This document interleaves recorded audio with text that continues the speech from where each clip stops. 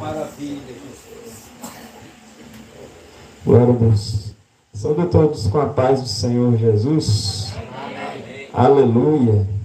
Estou muito feliz de estar aqui, é, juntamente com o nosso amigo aqui, irmão em Cristo, irmão Nando, irmã Ivete, né? Esses dois irmãos são nossos conhecidos de muito tempo, né? E louvo a Deus pela vida deles e pela vida de toda a igreja. Se você veio aqui hoje, saiba de uma coisa: Deus tem uma palavra para a sua vida, para você. Quem sabe você veio precisando de um milagre nessa noite. Deus pode te entregar esse milagre. Eu sou prova viva de que Deus opera milagre. Aleluia.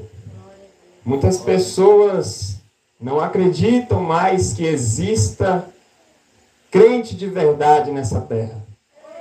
Muitas pessoas desacreditaram de Deus porque não acreditam mais em homens. Mas eu quero te dizer uma coisa nesta noite. Deus não mudou. O céu continua preparado para ir de encontro à tua vida. O mesmo Deus do passado é o mesmo Deus de agora. Quem mudou somos nós. Meus irmãos, Deus opera coisas grandes e firmes que tu ainda não sabe. Deus ainda pode curar. Tem uma pessoa aqui nessa noite que Deus manda te dizer que essa enfermidade aí não é para a tua morte, que essa enfermidade aí não é para o teu sofrimento, mas essa enfermidade, irmão Nando, que está na vida dessa pessoa, é para a glória de Deus. Porque um grande milagre Deus vai fazer através da tua vida, que isso vai servir de testemunho para muito tempo na tua vida, e pessoas da tua família vão ser salvas por Jesus através do testemunho. Rabacante oferece alabacai. Aleluia, o céu está aqui. O céu está aqui. Jesus está presente nesse lugar.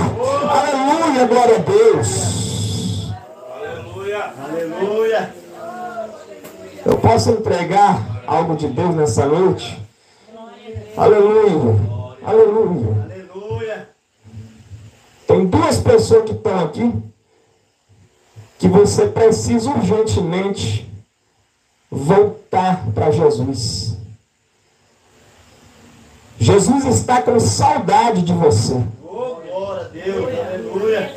O teu lugar não foi preenchido por ninguém, sabe por quê? Porque o que é teu, Deus não dá para mais ninguém. Aleluia. E aqui eu agradeço a oportunidade em nome de Jesus. Amém.